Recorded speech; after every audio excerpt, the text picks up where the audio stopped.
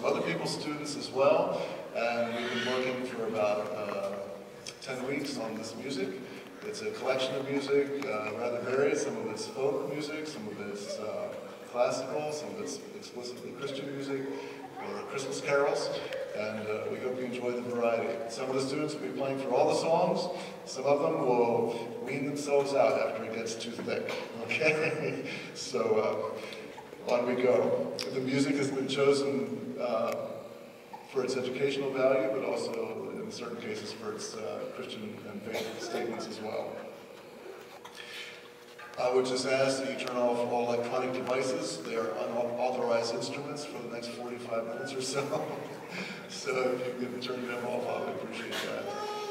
And uh, this evening, we're going to be a little different than the summer. Over the summer, at the summer program, I announced all the songs.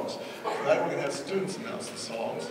And so without further ado, we'll begin with that and the announcer for our first selection.